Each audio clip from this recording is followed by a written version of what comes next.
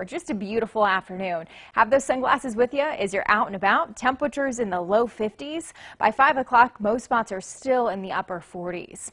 Clouds start to build in late this afternoon into this evening, eventually becoming mostly cloudy tonight. That chance for a few isolated, very light snow showers, maybe a few flurries, and that chance will continue into tomorrow morning. So here's a look at 6 o'clock Thursday morning. Temperatures once again in the upper 20s to low 30s.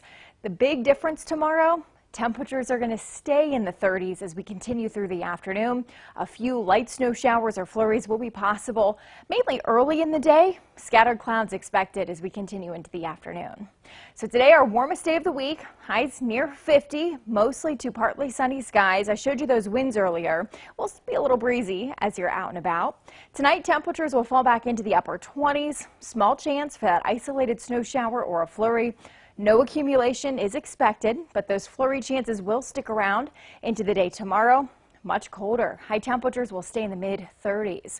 If you're wondering where we're supposed to be this time of year temperature wise, average high temperatures right now at about 41. So we will be below average into the day tomorrow and Friday as well. Mid 30s on Friday.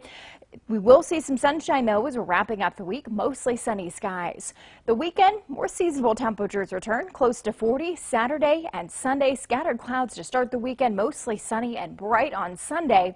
And then temperatures really take off week. By Monday, we're back to the low 50s, scattered clouds. It will be a mild week, mid to upper 50s on Tuesday, and it's looking like we'll hit 60 next Wednesday. That'll come with some sunshine and just a small chance for a late day shower.